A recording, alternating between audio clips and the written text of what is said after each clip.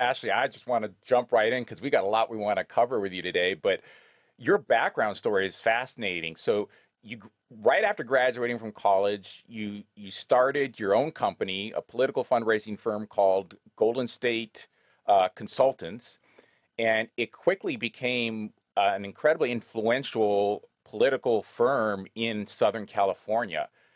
I think that's just so inspiring. We need to hear more stories like that that will empower and inspire young Americans uh, to that that we're a nation of builders, right? That we yeah. Mm-hmm.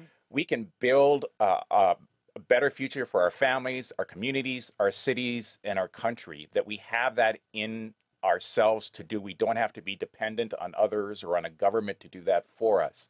So I was wondering if you could tell us a little bit about how how you went about doing that. What led you to start this company? And what advice might you have for some other budding entrepreneurs out there who are thinking about doing something themselves? Yeah, so I actually started my first company, I guess you could say, when I was nine years old. Um, my I grew up on a farm in Central California. My dad was a farmer. My dad still is a farmer, and um, I really wanted an American Girl doll. Like that was it for me. And um, he would go and pick the mistletoe out of the walnut trees and bring it home. And I would wash it and clean it and tie a bow on it. And I would sell it at my grandparents' fast food restaurant 50 cents for a small, a dollar for a large.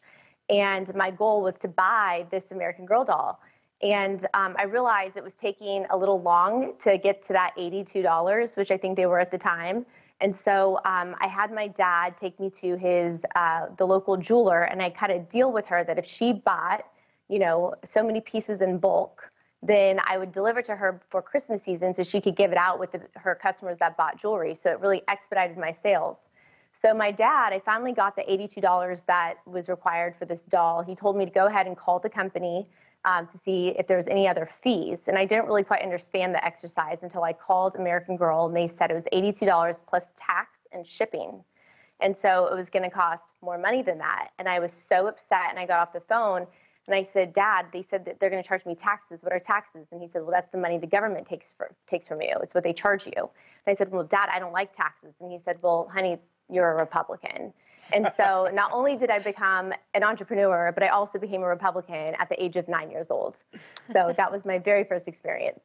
That's amazing. So it was already in your in your makeup to be an entrepreneur. Uh, so take us 11 years, 10 years into the future, yeah. uh, after having launched your, your, your first company, I guess this was your second, uh, what happened there?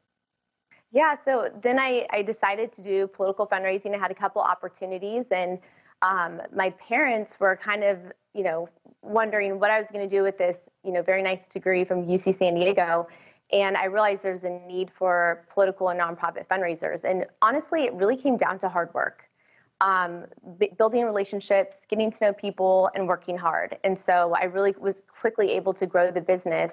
Um, I had the honor of working with so many great elected officials and candidates and organizations through Southern California, um, where I really got to pick and choose what I wanted to do. But I'll be honest with you, um, I told myself I would give myself to the age of 30 to decide if that was really what I wanted to do.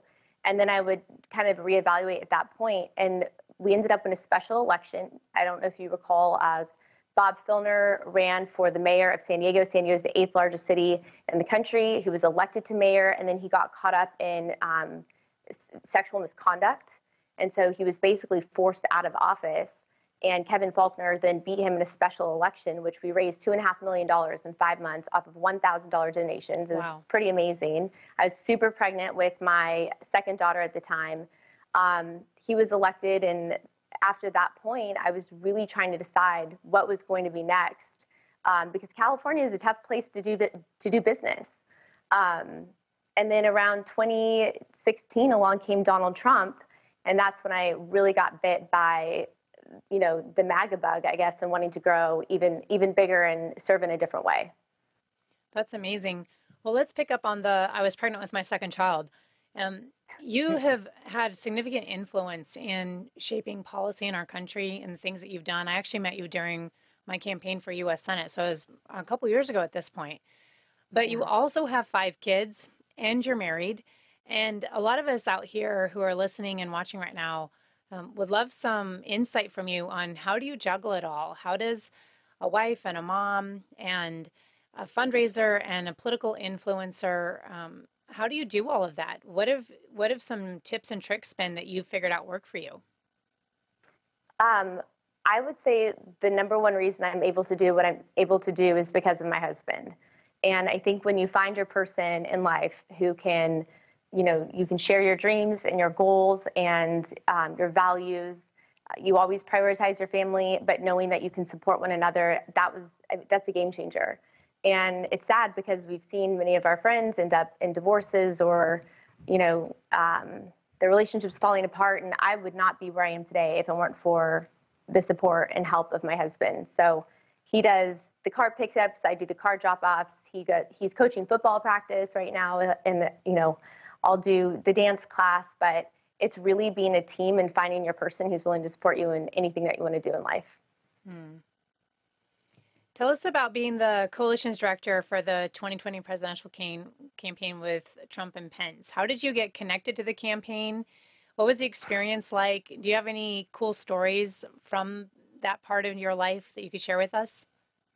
Yeah. So speaking of supportive husbands, um, I was trying to decide at that point in my career. As I mentioned, I was uh, really, I guess, um, motivated by what I saw President Trump doing uh, in 2017, right out of the gate. And um, I was working with the California Women's Leadership Association, and so we were really elevating the work that Ivanka Trump was doing. Um, and then in, I told my husband, I said, you know, if I ever have the opportunity to work for President Trump, I just want you to know I'm going to take it. And um, I met uh, Lara Trump and Eric Trump in 2018 when they came through Southern California for an event. And then in 2019, I got a phone call from a friend of mine who I worked on a campaign with in San Diego. She was working on the campaign in um, in Virginia, and she asked if I was going to be in town soon. And I said, "Yeah, I'll be there in a couple weeks." So I went out to Virginia, sat down with her, and she asked me, "Would you be interested in being the executive director of Women for Trump?" And I said, absolutely. And she said, great. How soon can you move here? And I said, how soon do you need me? And she said, can you be here in two weeks? And I said, yeah, no problem. So we were staying with my in-laws at the time. I went back to my sister-in-law and brother-in-law's house, and I said, Brian, you're not going to believe it. I got offered the job to run Women for Trump. And he's like, wow, they're going to let you do that from California? And I said, no, we're moving to Virginia. And he's like, what? How much are they going to pay you? And I said, I have no idea, but like, we're doing this. I was so pumped. He was so angry. Um, it took about three days, but once the temperature was, you know, cooled down, uh, he was fully on board. I uh, lived with my in laws in Baltimore and commuted from May to August of 2019. And then he moved out with the kids in 2019. Um, and then very quickly, I rose up through the organization and became the director, the national director of all the coalitions. So we ended up with over 45 coalitions, uh, 650 advisory board members. It was honestly such an experience of a lifetime the month of October, October 2020, we had 117 events with First Family and cabinet members alone. So it was truly um, an incredible experience. Um, one of the family members, Lara Trump, who I referenced earlier, she was the one I worked probably the closest with, besides Katrina Pearson. Um, both of them are women who are so committed to America, who love our country. Um, they are so just like humble people and that was something that I was really, um, I, I wouldn't say surprised because when you get to know the people in that world, you realize just how much they love this country.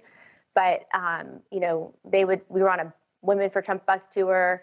They decided to stop at, you know, TJ Maxx or Ross or something on the way to get a pair of earrings. We're, you know, they don't mind staying at a Marriott. It doesn't have to be a, you know, super fancy, fancy hotel just such great, great women and patriots that I had the opportunity to work with.